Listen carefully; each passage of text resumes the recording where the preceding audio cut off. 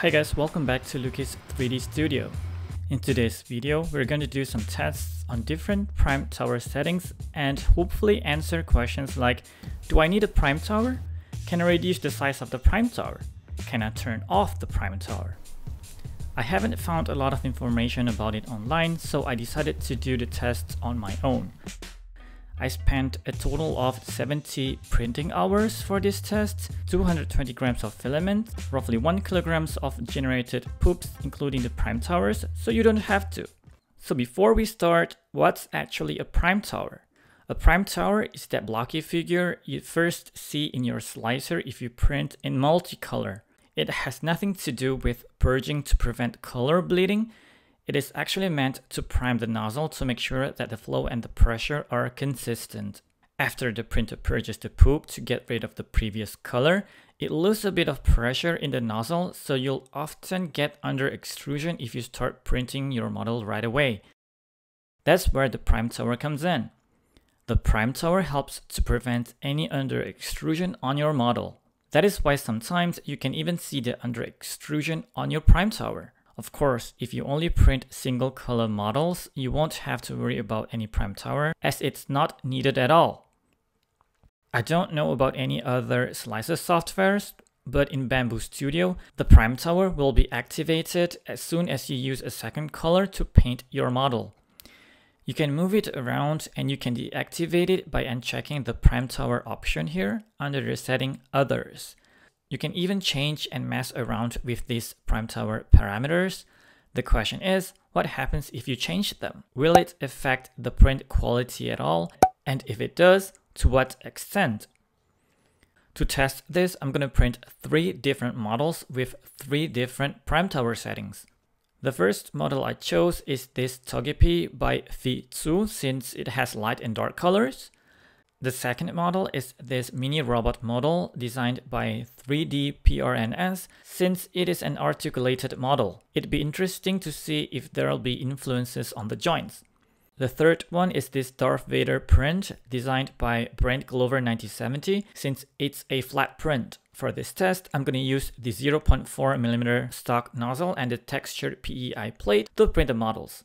I'm also going to use strictly Bambu Lab PLA basic filaments as to not introduce any other external influences. I'll also keep the flushing volumes multiplier at default for all these tests, so I don't expect any color bleeding to occur, but we'll see. So let's start with the first model and print it using three different prime tower settings. The first one is the default setting. The second one is about half the default setting. I'm gonna call this the eco mode for the sake of simplicity. I'll keep the brim at 3mm though, since I want a proper adhesion of the prime tower to the bed at all times. And the third one is no prime tower setting. So let's get right into it and print our model.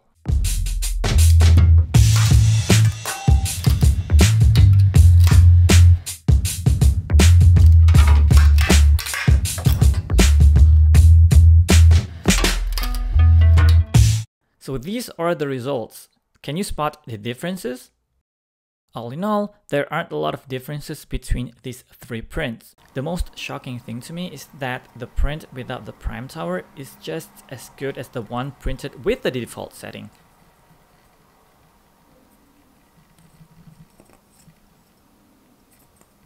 Sure, upon closer examination, you can see these imperfections, like this color contamination spots here and here, which are negligible if you're not all that picky, but I don't see any under extrusion or any color bleeding, so I was actually very surprised with the result.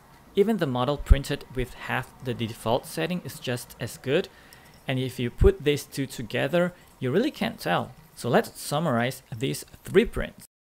The first print with the default prime tower settings turned on cost me 259 grams of filament and took 14 hours and 54 minutes to print. By halving the parameters of the prime tower, I saved 13 grams of filament, which is about 5%, and saved 35 minutes, which is about 4%. By deactivating the prime tower, I saved 20 grams of filament, which is about 10%, and saved 76 minutes, which is about 9%. Now let's move on to our second model, which is the articulated robot toy. Just like our first model, I'm gonna print it with three different prime tower settings, which are the default setting, the eco mode setting, and the no prime tower setting.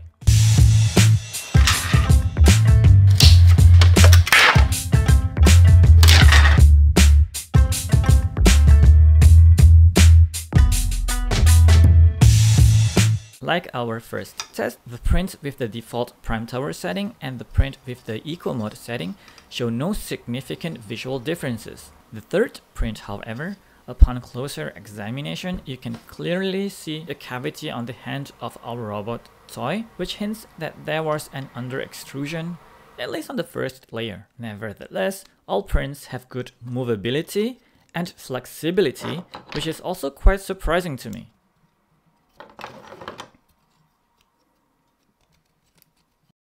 So let's summarize our robot toy prints. The first print with the default prime tower settings turned on cost me 130 grams of filament and took 8 hours and 18 minutes to print. By halving the parameters of the prime tower, I didn't save any filament but saved 7 minutes which is about 1%. By deactivating the prime tower, I saved 6 grams of filament, which is about 5%, and saved 26 minutes, which is about 5%. Now let's print our last model, which is this flat Darth Vader print.